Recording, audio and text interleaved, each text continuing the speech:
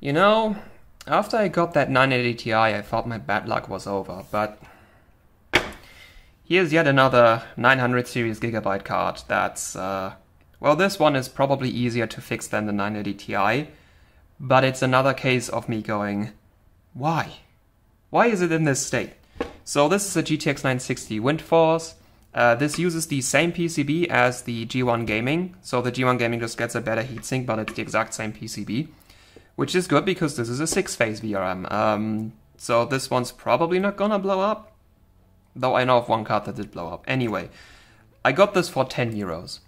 I saw GTX 9 960, uh, good PCB, 10 euros, and I was just like, well, for 10 euros, like that's, I, I, I can get a kebab for that because for some reason they cost that much now. Um, so like, 10 euros, like because the thing didn't even have like it only had a picture from the front and said 960 not working. And i was just like, like for 10 euros i'm willing to take the risk. And the risk i took and i lost. Um, so it's probably not very obvious at first glance but the back of this graphics card is royally um, effed up. Like this thing has gone through a grinder. So Let's just zoom in a little bit. I think now you can see the problem. So not just are we missing numerous components, there's gashes in the PCB here that may have cut a layer deep.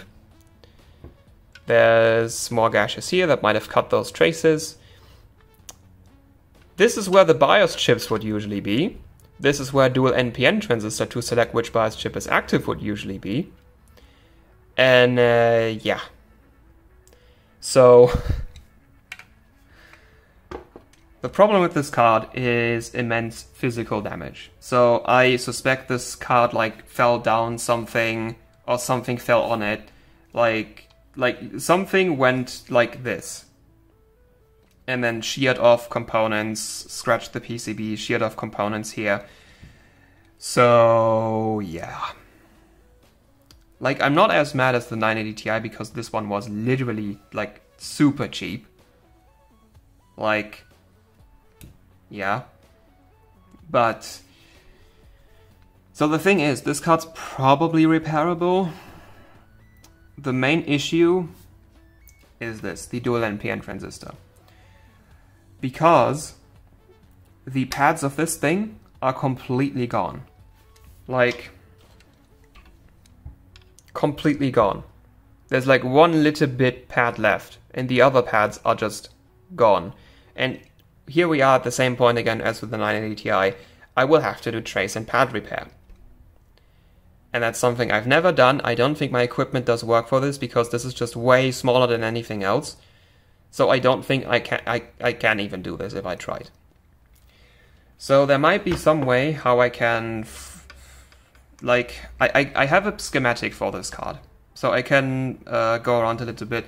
Because as far as I know, this dual NPN transistor is responsible for choosing which BIOS chip is active, because this card, for some reason, has dual BIOS.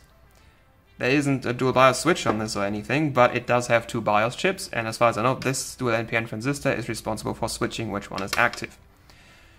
Um, so, the thing is, I have several dead cards, that I could pull BIOS chips off of. I have the CH31 something like the external BIOS flasher thing. I also have an EVC which can also flash BIOS chips. Like I could just pull a BIOS chip off of a dead, dead card, flash this card's BIOS onto it, solder the chip on, and then like the thing is, I don't need the dual BIOS thing. I only need one BIOS chip to work. And what I could possibly do is like find out how this is hooked up with the schematic and then just kind of instead of having this transistor just kind of short whatever I need to be shorted to have like the BIOS chip that I put on be active. Um, and then the card could possibly work again. Because any of this damage, like this damage looks really severe. Um, the good thing is, there's basically no resistors in this area. There's some resistors. Actually, there's one resistor right here, which is the one thing in this area that got spared by it and that's like the the only resistor in this area that exists. Like there's some other debug resistors that would have been here, but you can see those pads don't look like like there was nothing on these pads. These were empty. Um, and then there's like two resistors here, one here, and that's like everything else behind the core is capacitors. So I just need to put capacitors on it. Like the card would probably work without this. Like it will at least turn on and display an image without these capacitors back on the card. Now there is potentially an issue with like that that the, the cuts might be deep enough to cut traces or like cut traces in this area. Actually traces like this I can probably repair, but traces like this uh, are very very hard. Um, but traces like that probably easier to repair because these are bigger and they are just going straight. Um, so yeah. But yeah, so the missing capacitors in this area are not actually that big of a deal. Like the card might be unstable without them, but it should be able to just turn on because right now, well, there's no BIOS chip, so the thing just doesn't run. Funnily enough, it does get detected in Windows if you have it as a secondary card, and it is actually correctly identified as a GTX 960. The only thing that doesn't work is reading the sub vendor because it just reads undefined instead of gigabyte because no BIOS chip. Um, also, Windows says that this device is functioning properly, which is really funny because it literally doesn't have a BIOS chip it literally does not put out an image. So, yeah, I, I, guess Windows sees the GPU, which is still working fine, and then goes, oh, it must be working, but like the GPU doesn't know how, what to do with because there's no BIOS. Um, but yeah, so like the VRMs on this work fine. Like, uh, let's take the card apart. Um, but yeah, so like VRM wise, the card works, which also potentially means, yeah, this could also become an E-Power if I end up not fixing it. I really wanted a 960. Like 960s, like are 28 nanometer, Maxwell, um, and the smaller 28 nanometer dies, like the smaller Maxwell dies, are supposed to have great voltage scaling. They don't run very hot. Um, so this is just all around a very fun card. Uh, yeah, so as an extra VRM heatsink, which I always like. I, I prefer having like a dedicated VRM heatsink over having it be part of the air cooler, because then when you run it on water cooling, you don't need to find an alternative solution for your memory uh, VRM cooling. But yeah, so this is uh, like Gigabyte's take on like a higher end 960 PCB. So like you get a second six pin, you get a six phase V-core, you stay at a one phase VMEM but honestly, this has only four. Like this is a 128-bit bus. This only has four chips, two on the front, two on the back. Like you really don't need more than one phase for that. Uh, this also has these display switches again, because you have uh, this display switching feature. You can either you can choose between having this or these two ports. Um, so yeah, that's something that Gigabyte like. Actually, they still do that on my 2080 Ti. Uh, but yeah, and then the PEX rail should be this thing. And then that might be 1.8 volts or something else. There's another chip right here. Um, that's probably the control. No, that is. No, wait, that's the i93221. That's probably the controller for memory. Then what that is, I don't know, might be gate drive.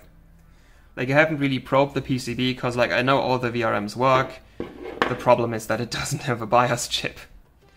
So um, I'm not immediately giving up on this card because um, I might be able to just like go around having to repair this pad because I, I, I don't need the dual BIOS thing.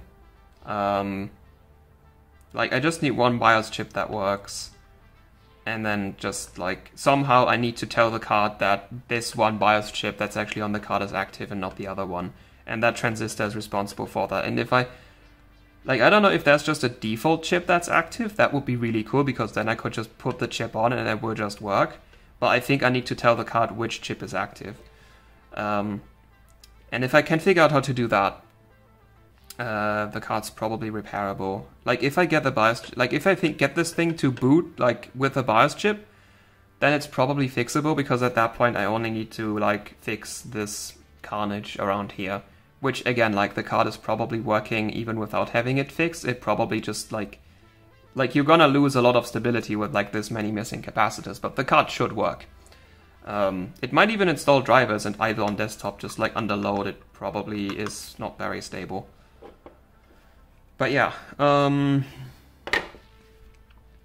yeah, so here's another graphics card I got uh, for repair that turned out to be something else. Like this also has a fuse on the PCIe. Like every time I buy a Gigabyte card, I just hope that this thing is burnt. And I just have to replace this and then some other component that short circuited. Because that's a super easy repair. Like every time you have a fuse, super easy repair. Um, so yeah, every time I buy a Gigabyte card, I just kind of hope that this thing is broken and uh, something else is shorted and I just need to replace those two and that, that's it. Um, but yeah, so this thing, I don't know, something fell on it or it fell down onto something and now it's dead. Um, if I can't repair this card, well, I'll make this into an e-power and this is using Samsung 4 gigabit C die, which is the same memory chip that the dead 980 Ti Strix I have uses. So I could use these chips on that card. I think these are lower speed bins, so it might not be ideal, but the card should like work without them, uh, like with these chips. Just at maybe slightly lower memory clock, but you know, like Samsung chips are pretty good at overclocking. Even if these are a lower speed bin, they probably do at least 980 Ti stock speeds.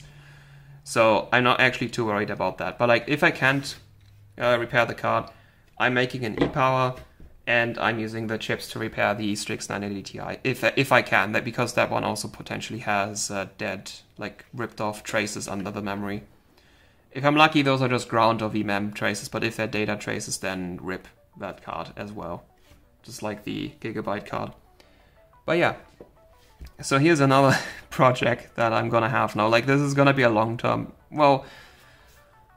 Uh, well, first I need to figure out how the BIOS select selection thing works. Then I need to salvage a BIOS chip, flash it, put it on.